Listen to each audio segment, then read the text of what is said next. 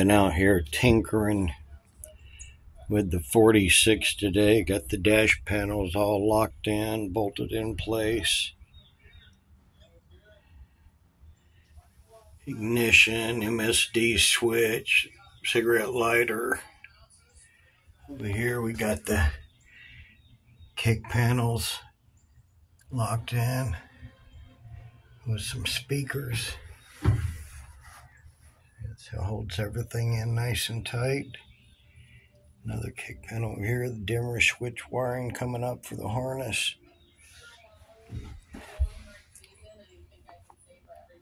Quarter shifter.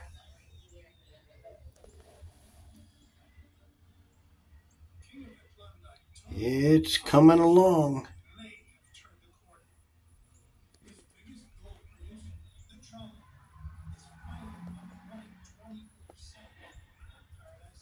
It's coming along. Can't wait to drive this rascal.